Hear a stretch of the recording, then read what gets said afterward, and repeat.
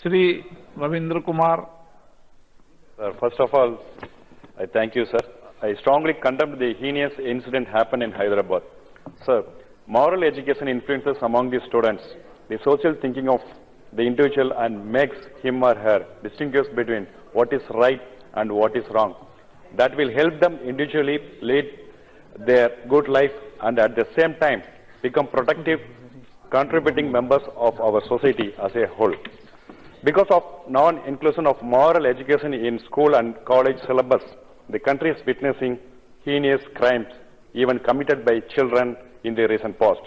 Hence, and I appeal to the government through you, sir, that moral education is to be imparted as compulsory on school and college-going students and thereby ensuring that the moral education should be a integral part of the school and college curriculum all over India. Ajay. Mishra ji.